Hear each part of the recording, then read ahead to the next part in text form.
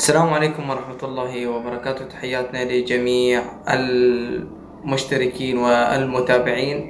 طبعا قبل لا أبدأ بهذا الفيديو أطلب منكم الدعم للقناة like subscribe والمشاركة بالقناة.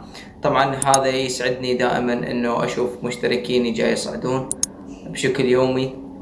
حتى يستفادون أكثر وحتى أنا يصير لي واهس أنزل لكم مثل هيك فيديوهات.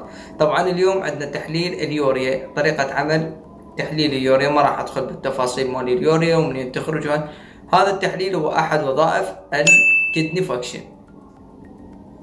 أحد وظائف الكلية اللي راح نشوفه من خلال هذه الطريقة. طبعا الشركة موفرة لنا هذا ال kit طريقة العمل. مثل ما جاي تلاحظون بالشرح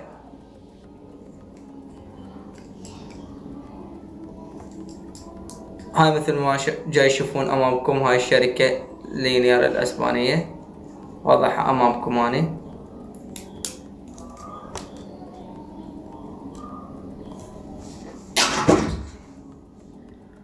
هذا reagent 1 reagent 2 خليهم على صفحة.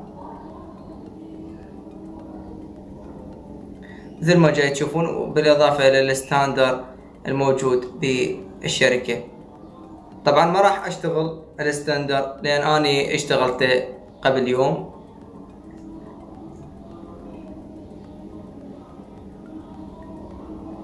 وهاي الأدوات التجربة اللي راح أشتغل بيها مثل ما جايت.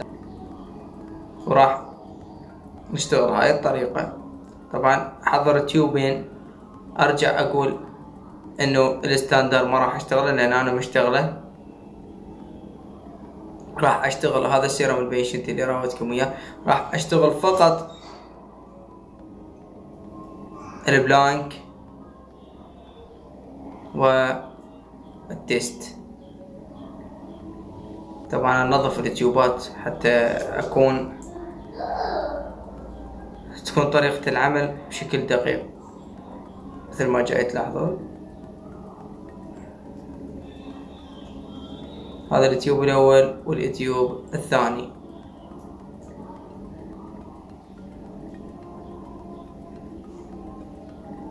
ناخذ واحد مض من R1 مثل ما جاي تشوفون. هذا الواحد مول من R1 هذا ال R1 حتى تشوفوه زين. معلم عليه R1 نفتح ال الريجنت مالتنا. ونضيف R1 راح نبدأ نسحب. لاحظ على طريقة السحب. طريقة السحب لازم تكون بشكل دقيق. هذا الواحد مل نمسحه حتى تكون الإضافة بشكل دقيق. حتى إضافتنا تكون دقيقة جدا حتى يطلع التحليل دقيق. نخليها بال tube الأولى.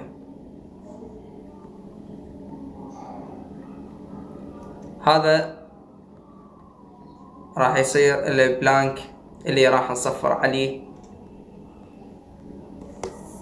اللي راح دائما نصفر عليه إحنا. ليش نصفر على ال blank السؤال؟ يجينا سؤال ليش أصفر على ال blank؟ أصفر على ال blank لأن أطرح المعامل اللوني مال المحلول. طبعا راح نضيف إضافة واحد مل أيضا ثاني بال tube الثاني. شوف الإضافة. أتأكد من يمها إنه ماكو bubbles أو فد شي والإضافة تكون دقيقة. وتركز بالشغل مال اليوريا. طبعا هاي الإضافة الثانية أمامكم جاي تلاحظون جاي أضيف الإضافة الثانية.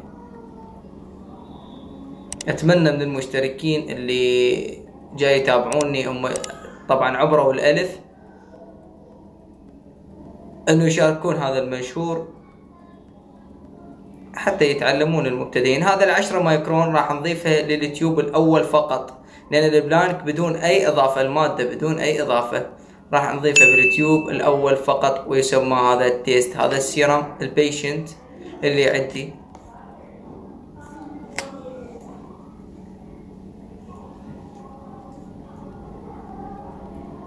هاي الإضافة العشرة مايكرون. حتى تكون إضافتي دقيقة والتحليل يطلع نظيف. لأن أنا أتعامل مع آه، محاليل دقيقة. هذا العشرة مايكرون جاي أشوفكم إياها. طبعا نمسحها. الجوانب مالتها.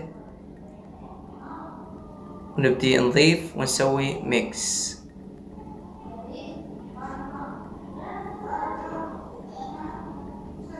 هسه ناخذ هاي الإضافتين نسوي mix وناخذ هاي الإضافتين. بال water bath درجة حرارة سبعة وثلاثين. مثل ما جاي تلاحظون ونخلي المؤقت.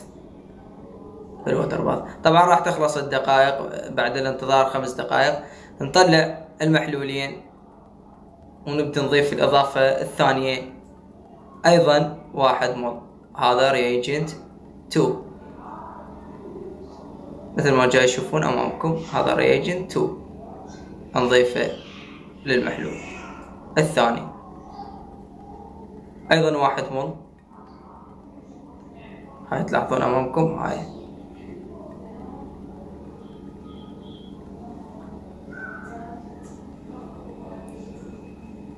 أرجع وأقول إنه حافظ على دقة التحليل.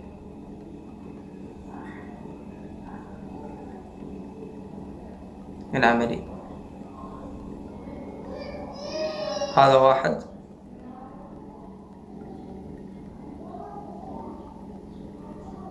مض اليوتيوب الأول. نبدأ نمسحها التبس. نمسحها حتى يشوف. راح يبدي المعامل اللوني يطلع عندنا والتفاعل راح يبدي. راح يبدي يتغير اللون. طبعا هاي الإضافة الثانية.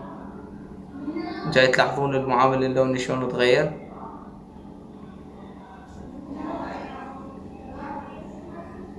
هسه نضيف اليوتيوب الثاني. أيضا انتظار خمس دقائق بالوتر باث.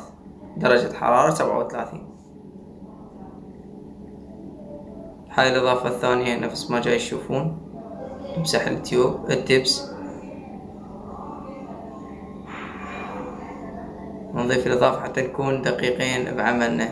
طبعا كل طلاب التحليلات المرضية اللي خصوصا هاي السنة اللي فاتهم العملي يقدرون يدخلون القناة يلقون بها شروحات العملي حتى يستفادون منها لأن الدوام منقطع هذه الفترة بسبب وباء كورونا فيروس. طبعا هاي الإضافتين جاي يشوفونهن. عندنا blank وعندنا ال test اما ال standard معاملة عاملة معاملة ال test يعني حاله حال ال patient اللي يجيني اللي اقيس له هو هذا ال standard طبعا الطول الموجي لتحليل ال blood urea 600 أصفر الجهاز أجهزة. هذا الجهاز كل مل كل جهاز له تصفيره خاصة. كملت هسه عندنا الخمس دقائق. الأخرى مجموع انتظار التحليل. هذا كله عشر دقائق. جاي تلاحظون هذا ال test وهذا ال blank اللي جاي أصفر عليه. جاي تلاحظون هذا اللي أصفر عليه.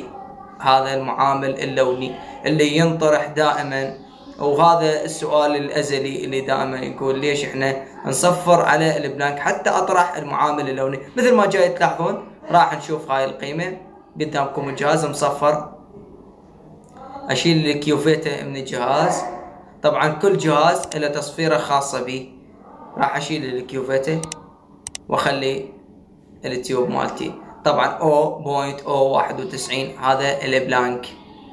أبدي أسجل ال blank O point O تسعين واحد وتسعين. هذا ال blank هسه نجي لل test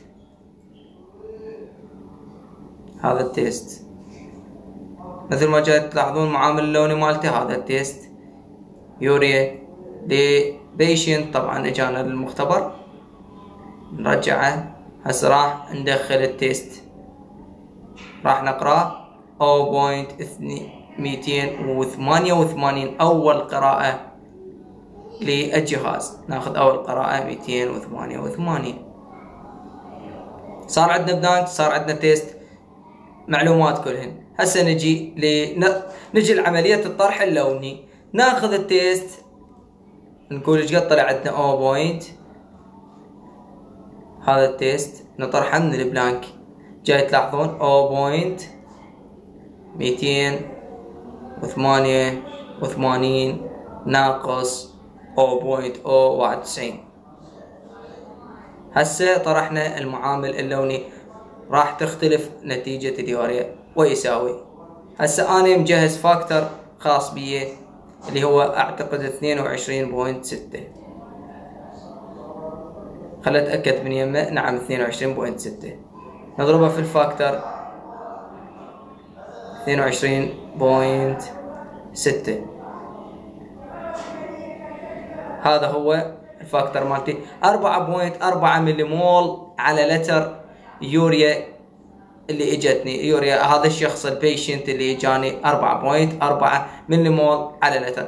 أما إذا أريد أحول إلى ملي جرام 4.4 نضربها في 6 ويطلع لنا اليوريا بالملي جرام أتمنى استفادتوا من الفيديو. والسلام عليكم ورحمة الله وبركاته.